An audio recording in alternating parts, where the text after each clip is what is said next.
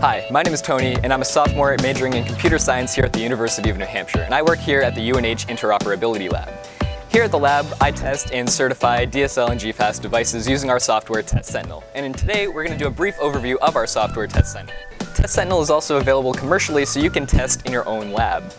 Now, Test Sentinel is a suite of test tools that provides for automated DSL and GFAST testing, easy control and profile management on DSLAMs and DPUs, as well as traffic controlling and much more. So let's begin.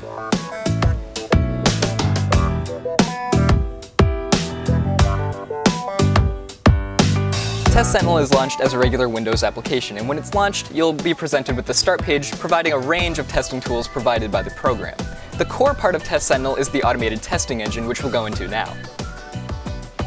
Within the testing engine, we'll select what we want to test. For instance, I'm going to be running an ID337 Issue 1 GFAST test. So I'll select the DPU I wish to test, along with which ports I wish to test on, the modem that I'll be testing, and then I'll select the test suite, Test Sentinel supports a variety of tests, ranging from simple DSL tests such as TR114 up to the GFAST testing such as ID337 Issue 1. For now, I'll select that test and select the sections that I wish to run in the second box that appears.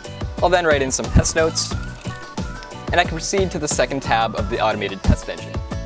From this tab, I can select all the equipment that the test will be running with, such as the AWG, spectrum analyzer, and traffic generator, I can then optionally configure some things such as what profiles to use for which sections, as well as training times that are allowed. This is really useful for debugging purposes. After this, we can proceed to the third tab of the test engine, where we can simply enter in who is testing the devices, and click the Start button to begin the test. Once the test has begun, it will show you the current section and point that the test is running, and we'll see logs down below of each device as well as what the test is currently performing. Once the test is completed, we can go to the Test Sentinel reporting system, which will list all the tests that have been run within Test Sentinel. I'll click on the test that I ran, and this will show me all of the sections that I ran along with the results, whether they passed or failed. If I wish to view more information on a section, all I have to do is select it. By clicking on a section, this will bring me to a detailed results view of that section. This includes the pass and fail metrics and why the test passed or failed, as well as any graphs that might be useful in your analysis with these sections. From here, we'll return to the start page of Test Sentinel where we can access the other tools available from within the program. For instance, we'll check out the CO device interface. From within this interface, I can select whatever DSLAM or DPU I wish to control and click Login. After this, I can enter in the ports that I wish to control. I'll enter in two ports here, and from here, I can do a range of options per port or for all the ports at once. I can do things such as set the admin status or check the admin and training status for the lines, or I can go ahead and set a profile.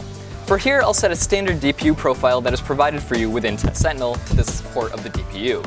You can also create, save, and load your own profiles. After a profile is set, we can continue with the other options, such as checking the line measurements or checking the performance counters for a line, and this is really helpful for debugging in multiple situations.